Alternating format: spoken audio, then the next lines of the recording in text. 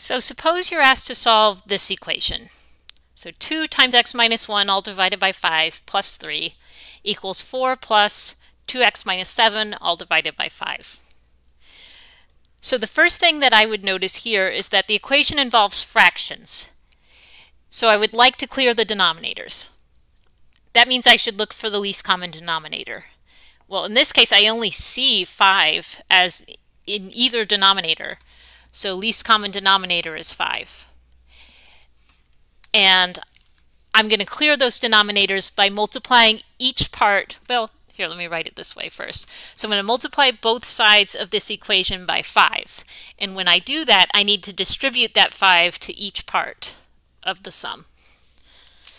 So this will be 5 times 2x minus 1 over 5 plus, so again, here's where you can't pick and choose. Just if we're going to multiply both sides by 5, I've got to multiply everything by 5. So 5 times 3, and then 5 times 4, plus 5 times uh, 2x minus 7 over 5.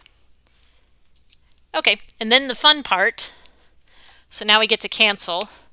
5 cancels here, 5 cancels here, and we're left with, oops, not red, 2 times x minus 1 plus 5 times 3, maybe I should have written that in parentheses, this is 15, equals 5 times 4, so that's 20, plus 2x minus 7. Since the coefficient now, when I canceled the 5, the coefficient here became 1. It's 1 times that 2x minus 7, so I don't really need the parentheses there anymore because the coefficient is 1 the in, previously I had five times that quantity, so I needed parentheses around it to remind myself this is five times that entire quantity. Uh, but once it canceled, I don't really need the parentheses there anymore. So next thing to do is to clean this equation up like I did in a previous example. So I'm going to distribute the 2 here and then combine like terms. So this becomes 2x minus 2 plus 15 equals well, I'm, I'm ready to go ahead and combine like terms on the right side here. So I have 2x and then 20 minus 7 is positive 13. And by the way, so if you wrote the 13 first, if you just went straight across, 20 minus 7 is 13 plus 2x, well, for addition, the order doesn't matter, right? 2 plus 1 is the same as 1 plus 2. So either way, if you wrote 13 plus 2x and I wrote 2x plus 13, we're, we're in agreement. And actually, uh, look at this side, when I combine like terms, this is also 2x plus 13.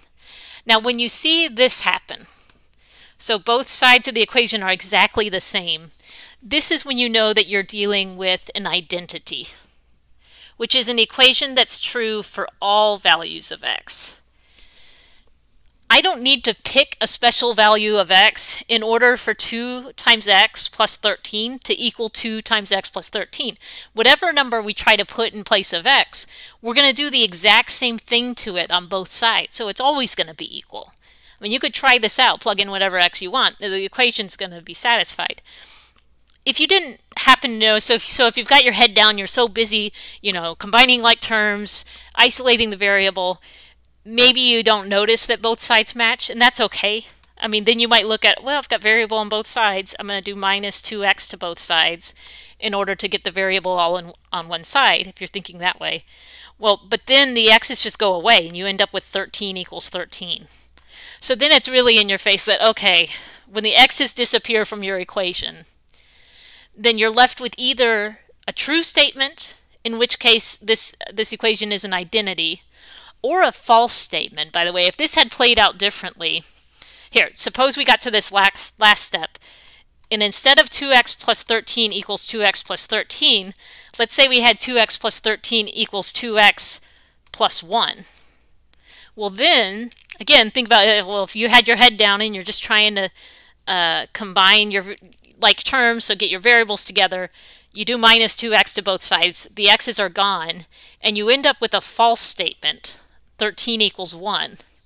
So when the x's are completely removed from the equation, either you end up with a true statement, like I did over here, in which case this is an identity, or a false statement, like what happened here, which would mean this is an inconsistent equation. So this equation, which is a different equation, by the way, is an inconsistent equation.